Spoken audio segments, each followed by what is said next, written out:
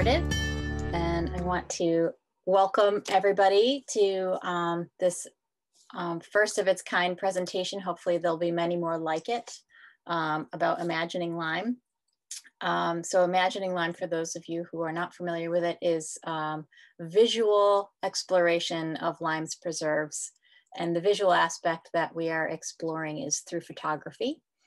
Um, we have been working with um, Joe Standart, who is a member on our board, to um, help us launch Imagining Lyme and uh, to help give us some tips that we can uh, disperse amongst the followers and kind of give everybody a, a seasonal challenge uh, or a quarterly challenge to work on um, and developing their photography skills. And it's really a, it's a challenge for anybody to, um, to pursue and, and it's quite fun.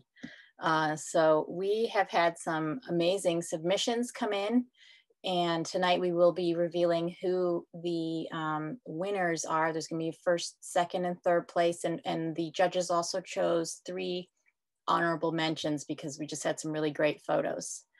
Uh, also, uh, we will be doing questions and answers at the end with Joe. I do ask if, if you can find the chat box, type your question into the chat box. I went ahead and sent a message there now. So if you can find it, you'll see a message from me to the group that says, welcome, please type your questions here in the chat box. If for some reason you can't find the chat box or you prefer to ask your question out loud, we can uh, possibly do that at the end, uh, depending on how many people we have. So um, I do want to give a brief introduction of Joe Standart. I'm going to read, Joe, if you don't mind, I'm going to read directly from his land trust bio. Joe Standart has resided here in Lyme since 1987. He is a professional photographer and TV director. He specialized initially in landscapes for the National Park Service and then moved to New York to specialize in advertising. He retired from New York and now creates large scale public artworks dealing with social issues. The Lyme Land Trust does an amazing job conserving, protecting, and making their land accessible and an enjoyable learning experience, says Joe. A recent poll shows that over 80% of Lyme's population list conservation as their top priority for the town, and that is not a coincidence. Those are Joe's sentiments about living in Lyme and conservation here locally. So without further ado, I would love to introduce to you Mr. Joe Standart, and he is going to take it from here. Hello, hello. Thank you very much. Uh, it's good to see all of these names uh, scrolling the top across the top of my uh, screen. Uh, so welcome. Thank you for coming. Uh, we have uh, some some really fun stuff in store. Um, I Sue did such a great job introducing me. I don't think I have to do too much more. Uh, I uh, started uh, in photography in kind of a crazy way with a political science program that took me to four different parts of the U.S where I lived and worked with uh, families in auto factories, uh, coal mines, uh, hog farms, and I just fell in love with photography during that process. So photography to me is just a turn on to life. Everything kind of comes alive. Um, I'm constantly looking at how light impacts or changes things. Buildings look entirely different, you know, even just a half an hour apart. Um, so I've just continually explored that. Uh, uh, that really it's a passion and a love, and it's been a, a delight to have a career in this uh, in this way. So um, what we've done when the COVID hit and the Lyme Land Trust um, has done a spectacular job of making it making the trails and the preserves accessible that we tried to figure out what how can we possibly um, continue to make it accessible continue to get people excited about the landscape, and we came up with the idea of uh, this photo challenge. It's not a contest. It's just uh, um, encouraging everybody to come out and uh, and explore and enjoy and bring their camera. It doesn't matter what camera, um, an iPhone to a big hefty heavy uh, SLR, which I don't uh, use anymore, or not not uh, often anyway, because it's so heavy. Um, so uh, we set up the challenge, and people responded, uh, and people have been hitting the trails. I don't know. I, my guess is most of you, since you're here, have been out there and seen full parking lots and uh, seen people really enjoying uh, the amazing landscape we have here in Lyme. And I've been, I have to admit that um, it's been a thrill and a new adventure for me also. Um, I've done a lot of hiking in different parts of the world uh, and just uh, in the last couple of years, getting to know Lyme and its trails, and they are spectacular. Um, in large part due to the hard work of many, many volunteers for the Land Trust and others. And talking about hard work, I do want to thank uh, the team that helped uh, put this uh, presentation on tonight. Uh, certainly, you've met Sue Cope, but behind the scenes is Wendy Hill, Ann Rich, and uh, Melvin Woody. Uh, I want to really thank them. They are, uh, it's been a pleasure, a delight, and an easy thing to pull this off. So, what I thought I would do um, is grab the screen, which might take a little bit of um, let's see. Here we go. Um,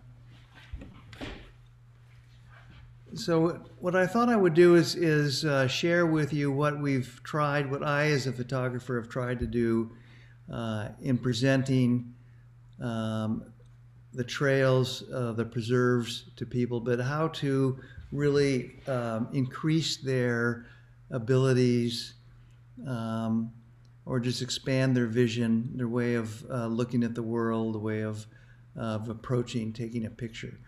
Uh, so I've come up with kind of a, um, I think, a fun way to approach it. It's not a one that you uh, would probably expect that I would do. Um, but I'll start with the my first question to people uh, that I encounter in the photography world or just on the trails and they want to ask about about photography and what so I have a bunch of questions. What is an essential element that's free that we all use that's really easy? It's always here and you can't photograph without it. Um, and it doesn't cost anything. So, what is that? And since I can't see your faces or hear your voices, I'll just answer the question. But of course, it's light. Light is the most basic photographic tool or element. Uh, it informs every picture. Uh, it could be midnight with a long exposure. It could be uh, first thing uh, every morning or evening, all day long. I mean, light is there. It's how you use it uh, that uh, really makes a big difference. So, gaining a sensitivity to the qualities of light um, early morning, as, uh, many photographers call it, magic hour. Um, but it's it's a delight to sort of begin to have this relationship with uh, uh, with light, just becoming sensitive to its its uh, constant changes.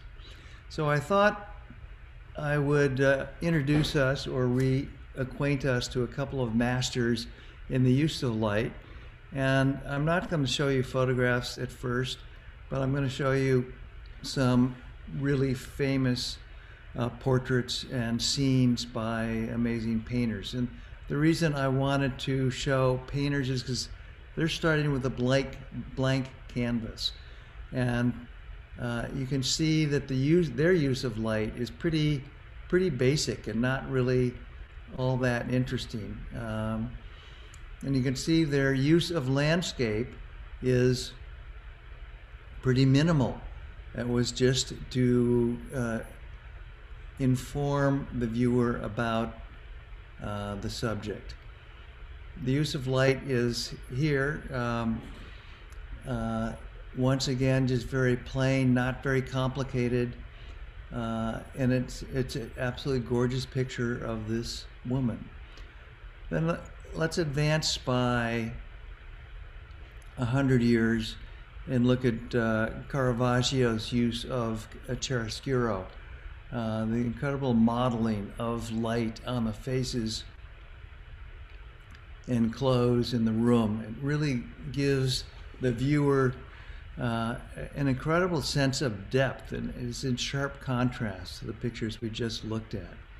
Um, so it's the light becomes um, much more than uh, just light. It, it is in fact a compositional element, and we'll be talking about uh, composition as we go forward. But you can see in the um, the light's going across the screen, uh, across the, uh, sorry, I grabbed my picture there, um, across the image that it directs your eyes, becomes part of the, the, um, the composition. The arm sort of linking into the face creates this circular uh, motif that really knits the whole picture together. So composition in photography is uh, using elements to help turn, if that's your desire, a 2D surface, that of a flat page, into a 3D experience. Um, and we'll talk about some other elements besides light that photographers can use to increase the effectiveness uh, of, of building a dimensionality into their photographs. So a foreground element, middle ground, uh, the lines that um, roads create, and colors, another obviously a compositional element, but hot colors, reds, yellows, and so on kind of come forward. Cool colors like blues and greens recede. So the use of those colors is a very um, powerful, um, uh, a very powerful element. So this uh, Claude Lorrain Seaport at Sunset, 1639, is um, a, a, classic example of using the, the uh, disappearing lines into infinity. Um, and you can see that he's really creating a sense of depth by these elements. Now, obviously, they are, I mean, he's in control, is, they're paintings, so he puts them all there. But if photographers can start, once they're aware, can start to think about using elements like that. So, in this photograph that I took um, sailing to Bermuda, Bermuda race, you can see all of the um, the elements that that make this picture work. And actually, if you look at the the water that splashed on my lens, the lens and the water become part of the composition, something way in the foreground. Um, the lines of the boat going back, uh, creating a sense of uh, infinity. And this tiny little boat over here in the background all help uh, build this into, uh, you know, I think a pretty dynamic photograph. Here on Selden Creek, um, and we'll see this later as well, um, the lines uh, draw you back into the distance. Um, so it's another uh, compositional element. Um, once again, the colors, uh, the yellows and reds kind of come forward and um, uh, really ground the tree. And in the mist in the background, uh, the, the distance gets smaller and adds to the sense of depth. Same here, it's the same tree, different time of year, a different lighting situation, obviously, entirely different mood. Um, this is something that um, um, it's, it's another element of light and what kinds of mood that it creates and how you can use that to create uh, a message or a story. Um, so here, the early, early morning light is something um, that I'm always uh, uh, endeavoring to capture, or late evening. Um, so uh, the light here, I mean, it's an incredibly strong compositional element with the lines leading you back into the distance uh, and so on. Shadows are taking something that doesn't really exist. There is no line there. But shadows, uh, if you stop to think about it, are really just lines on the ground or on a building or whatever. So in a uh, two-dimensional situation, they become very strong compositional elements. Uh, same thing with lines on the building. So uh, this leads us into uh, what I'm really excited about is sharing with you the submissions for our contest or really our challenge uh, to um, sort of inspire all those uh, interested to get out and, and push themselves um, to uh, challenge themselves to make a better photograph and ex- explore it just to get out and start to interact with other photographers and talk about their imagery. Um, so let's talk about um, first the photos of honorable mention, and I think they're really spectacular. Uh, Rochelle Davis created this tulip tree portrait, and it is totally awesome. Uh, it uses a lot of the elements that we've just talk, been talking about, the lines disappearing up to a vanishing point. Um, it has the fun of the uh, the sunlight and the trees around. It's very, very strong photo. Really excellent. Um, Sunshine, Sunshine Through the Birches by uh, Ellen Ptaszka is uh, just a very relaxed um, portrait of an afternoon. It reminds me a lot of the Lyme Impressionist painters. Uh, she has a nice, very nice foreground element here, this little bush you don't really notice, but it allows you to uh, go on down into the depth um, of the photograph. Um, Morning Frost by Marta Cohn. Um, this, I think Marta took this on a morning that we went out on one of our photography walks. Um, and uh, it's really very special. The um, um, all of the branches were just glistening in the morning dew. It was pretty pretty special. She did a great job capturing it. So our next category, photographs of distinction. Third place, uh, Selden Overlook, Colleen Dotham, um, is uh, surprisingly, uh, I say surprisingly because it's a space that I go to uh, um, fairly frequently. She's done a really great job of capturing it, uh, giving a sense of solidity uh, in the foreground, using the shadows, uh, and then looking beyond to Selden Island and um, the rest of it. It's a very, very lovely photograph. Uh, in second place, Shadow Glory by Sarah uh, is a wonderful portrait of this dog. Um, Sarah's captured either on purpose. I'll choose to think it was on purpose, because uh, it, but it's it could have been just a happen lucky ha- happenstance with the path going uh, back into leading you into the distance uh, this tree beautifully balancing uh, the dog, uh, and then the colors and the sunlight. That special time of day as uh, the light begins to disappear.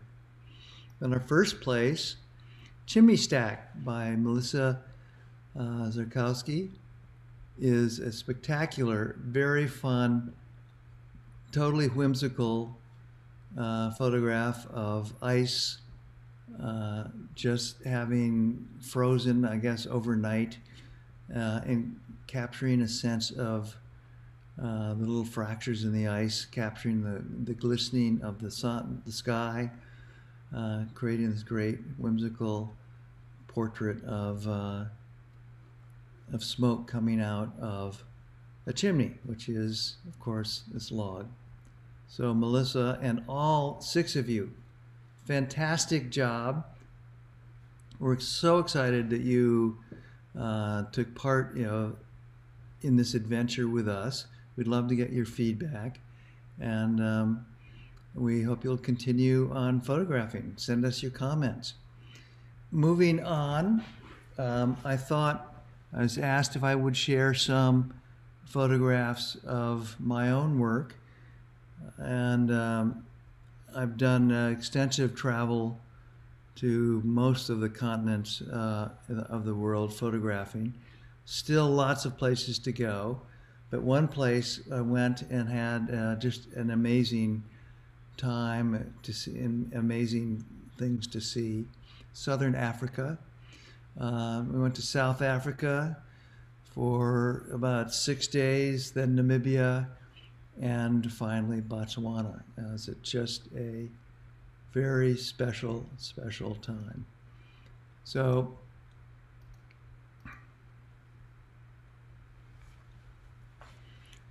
so it's just as we thought, I'd start off with uh, a map of the um, of the area. There you see the little uh, pins uh, showing where we started in the beginning. We're down in Cape Town, um, then went to Namibia and the Sossusvlei, and then over to Botswana.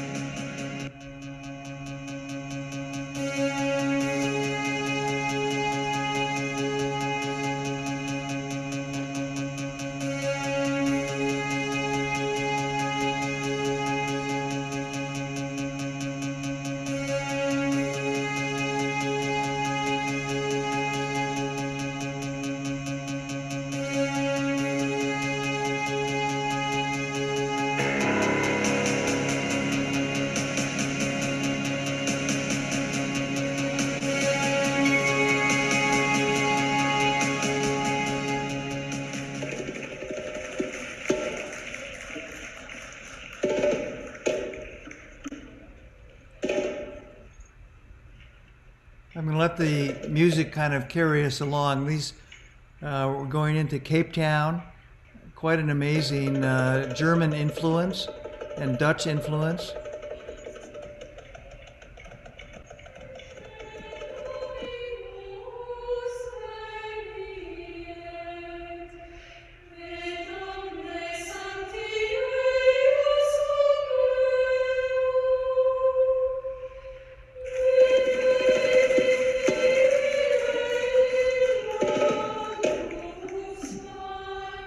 In central Namibia.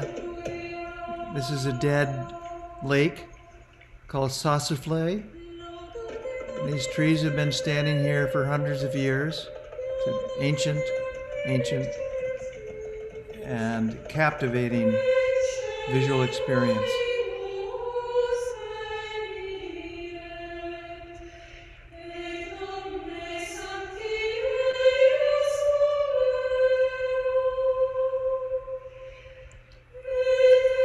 Desert's swallowing up the mountains, and the sand dunes stretching for miles and hundreds of miles, all the way down to the ocean.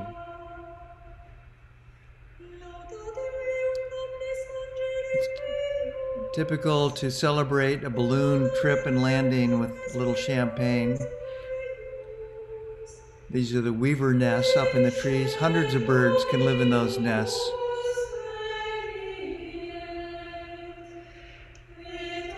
You can count them, there are 11 zebra in the picture.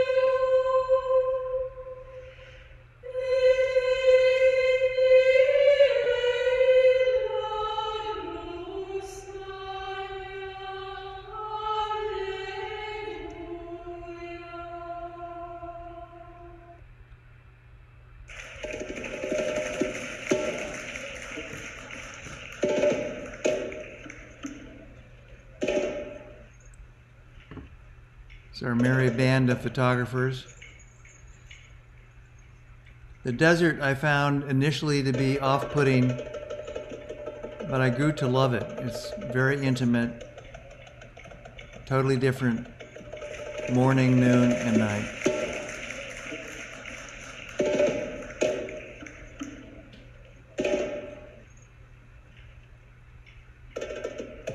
So we left the desert and headed on north east up to Botswana.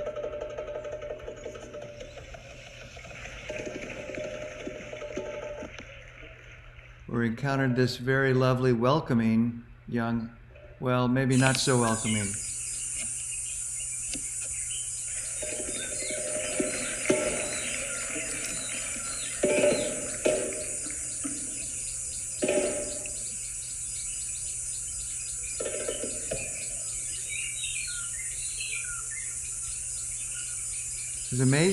Could get so close to the animals. In many cases, we were just 15, 20 feet away. This is a lodge that we uh, stayed in. Quite extraordinary.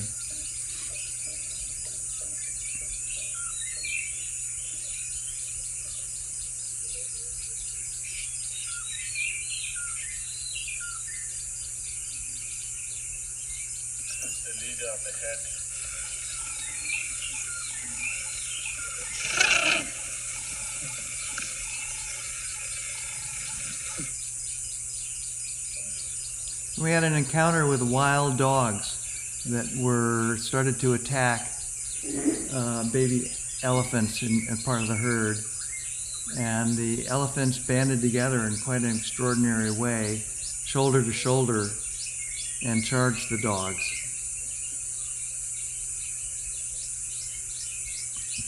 Pretty uh, breathtaking to see.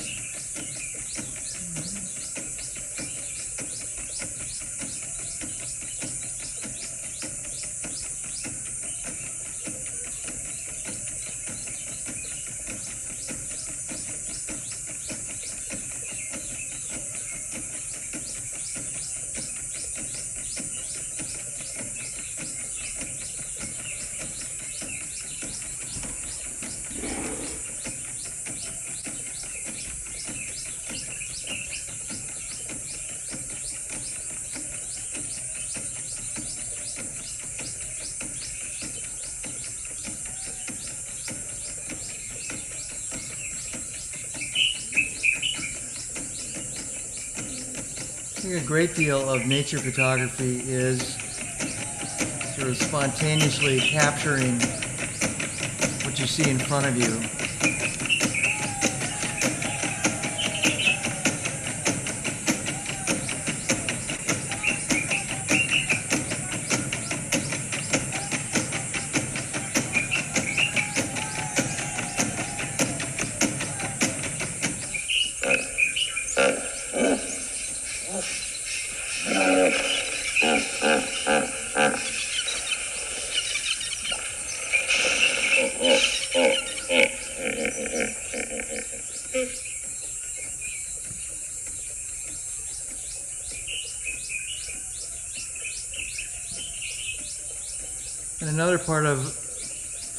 In nature is uh, using the elements that we've been talking about of light uh, and composition of lines uh, to build stronger uh, compositions.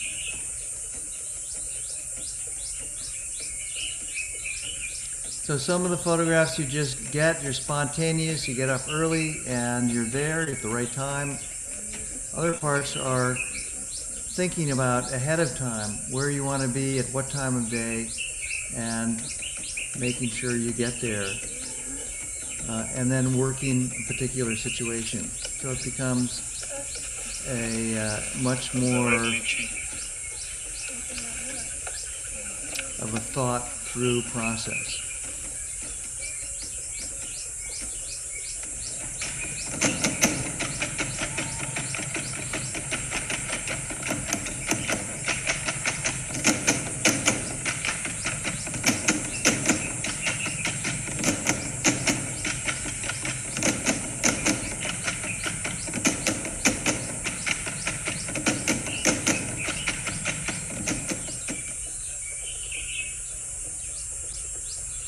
Something like this, the road, the shadows, and so on are all something I really worked on uh, in setting up the particular photograph.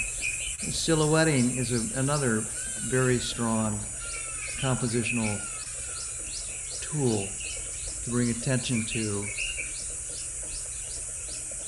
an activity, a person,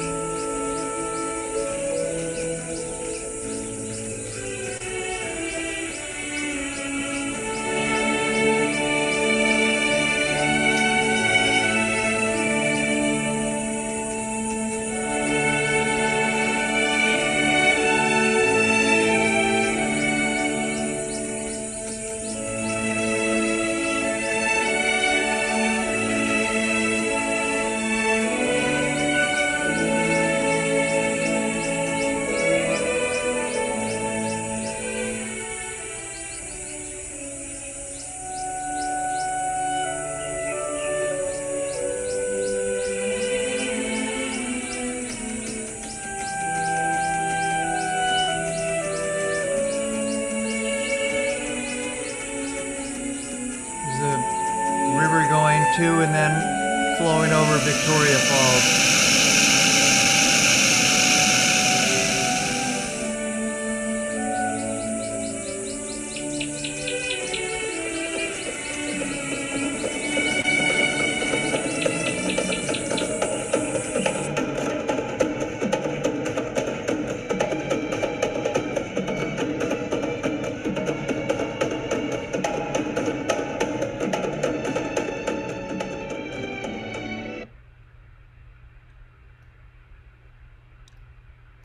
Go.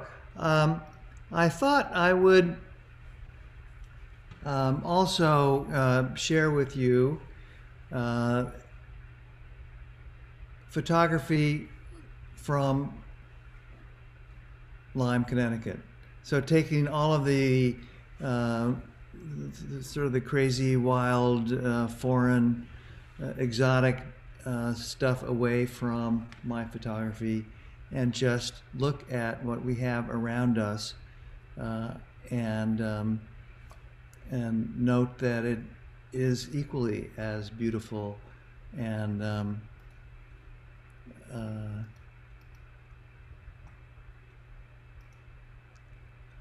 and exhilarating.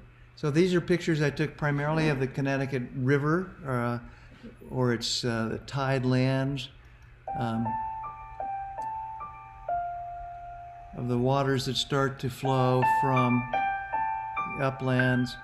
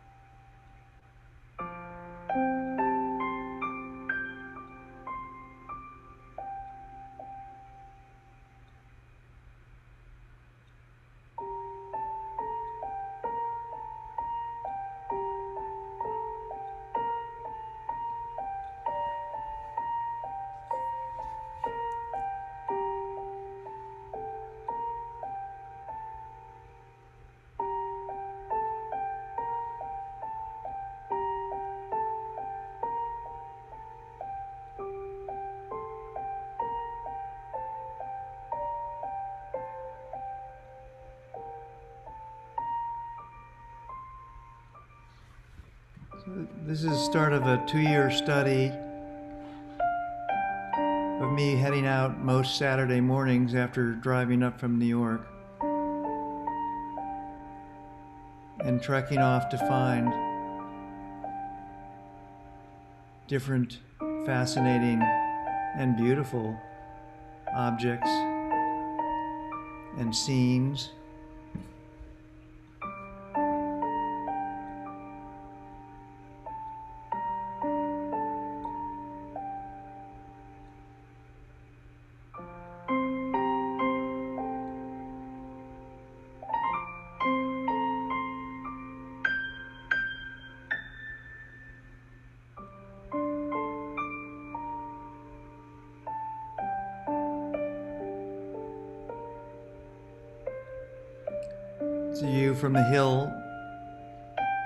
Looking over to Essex.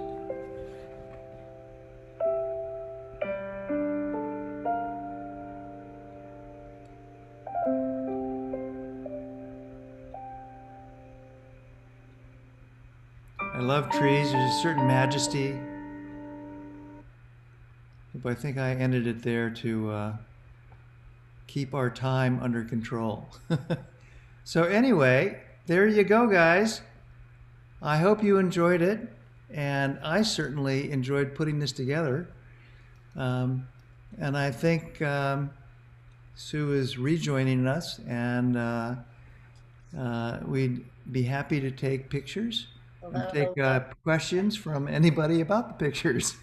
So Joe, I don't know if you were able to see the comments while you were, I don't know if you were able to multitask, but No. uh, everybody was just over the moon about both of the shows that you did. They, or the videos that you showed, they were just uh, truly magical.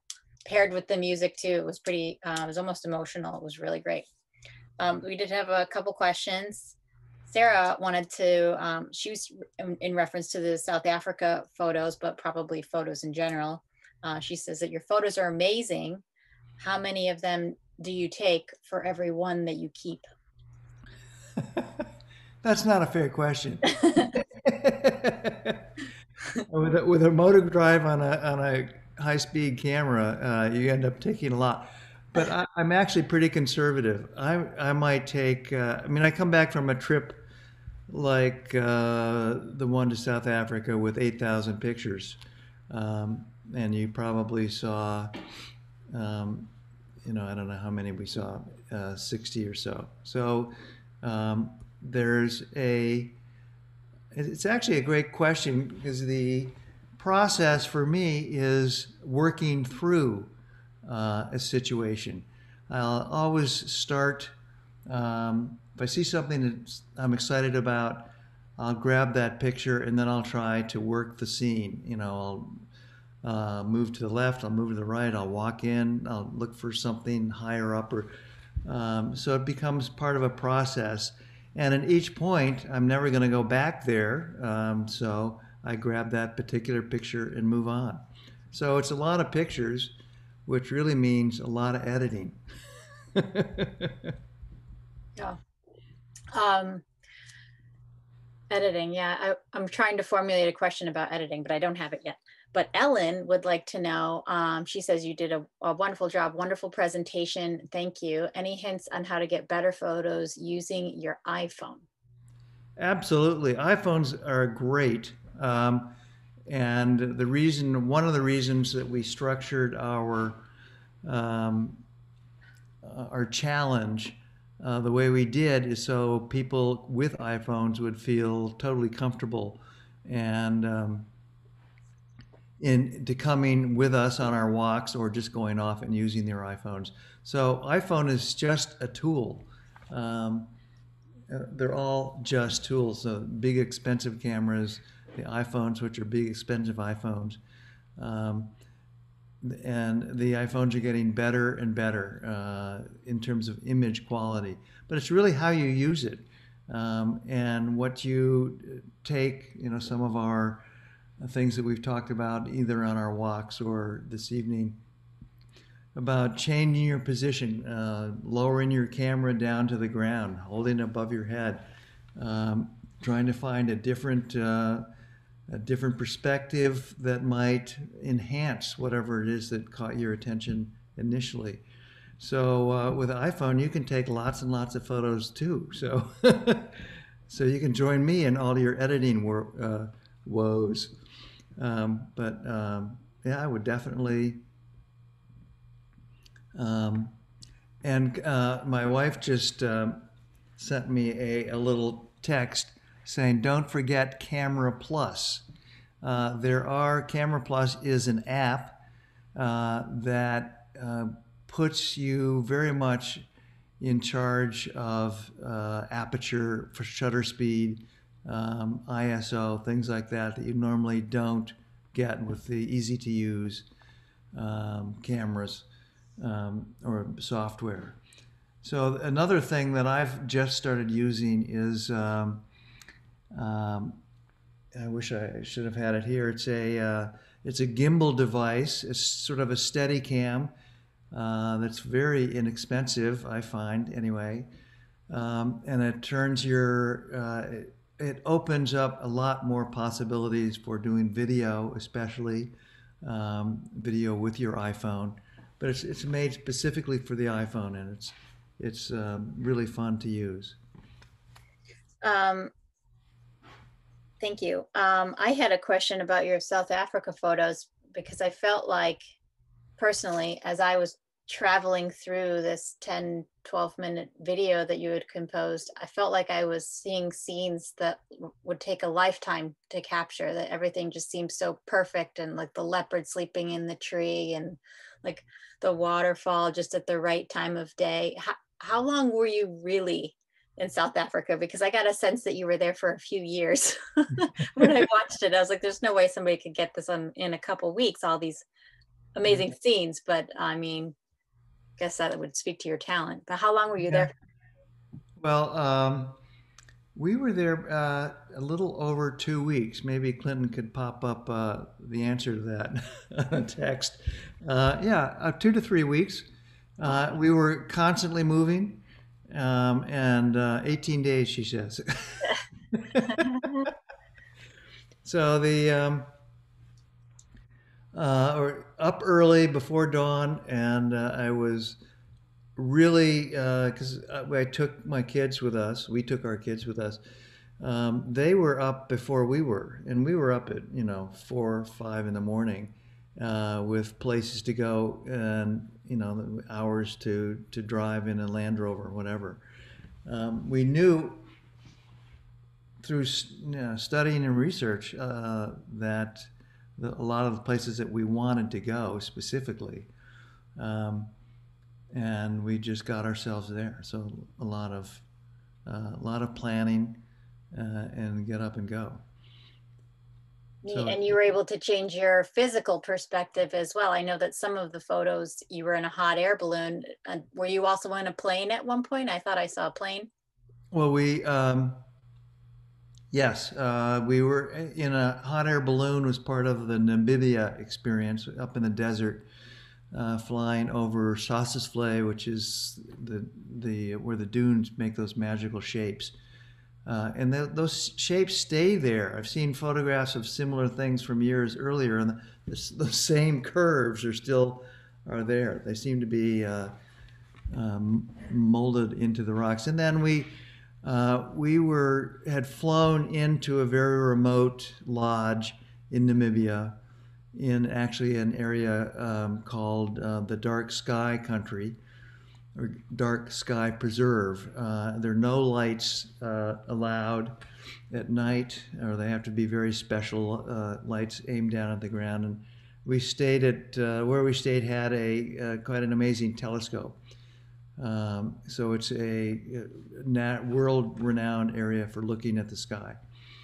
Uh, so we flew in there, and then we flew out to um, Wind, Windhoek, which is the capital, and then the next day on to uh, Botswana. So, Actually, we went to Botswana by car. It was kind of that was qu- quite the trip. so did you carry more baggage with your clothes or more baggage with your camera equipment? Well, as I get older, my camera equipment gets lighter and lighter. So,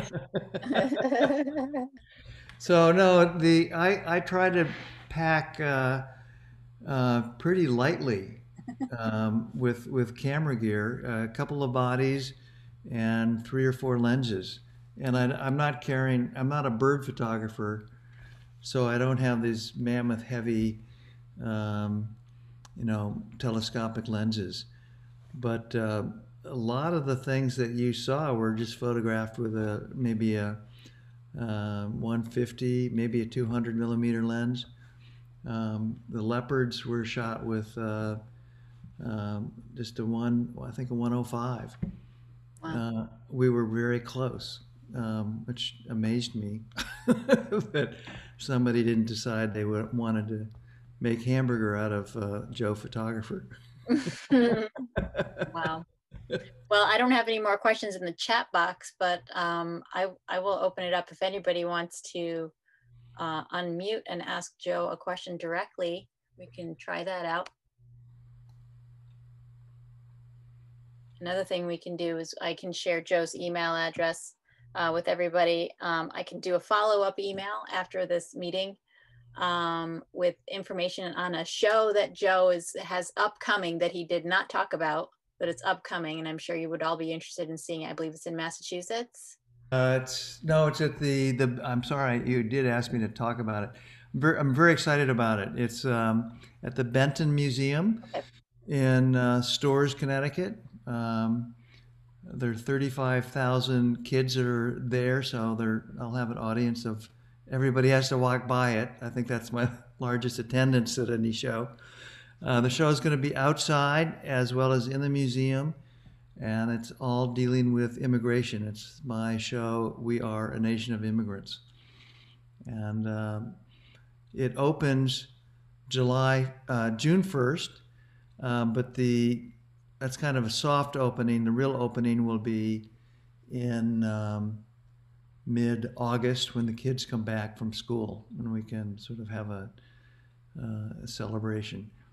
Okay. I'm very excited about it. Yeah, it's going to be great. Um, so I will send everybody in the meeting, I will send everyone an email with more details about Joe's uh, show coming up at the Benton, um, along with contact information for him in case anybody would like to um, send a direct email or message to him. I'd also like to um, let everybody know that uh, we have a web page for Imagining Lyme if you haven't checked it out um, yet. It is imagininglyme.org. Um, you can see all of the photos that were submitted for um, this past series, and you can learn about uh, the next challenge that's coming up, which will be composition.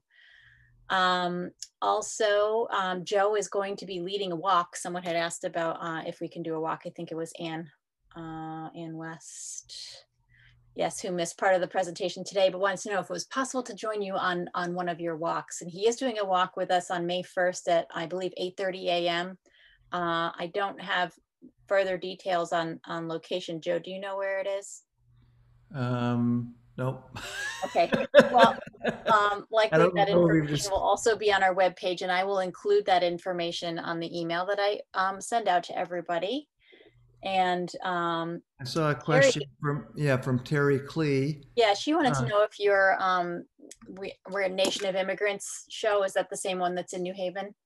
The the show at the Benton will actually be two different shows. Uh, one from the New London show that eyes portraits, and the other one uh, from definitely from New Haven, uh, without the the huge banners. Uh, they seem to be sensitive about screwing into the buildings. I don't quite know why. Okay. Um, okay, so if there are no other questions or concerns or complaints, anybody?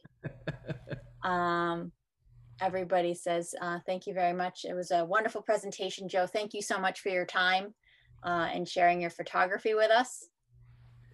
Well, And- thank you and thank the Land Trust. All you guys do are so amazing. You guys walk around the trails. It's the trails are so amazing. It's because of people like Sue and her husband and 30 or 40 other volunteers that get out there. We all work as a team. We couldn't do without you either. Thank you. Okay, everybody. Have a great evening. Thanks so much for coming. Thanks for coming, everybody.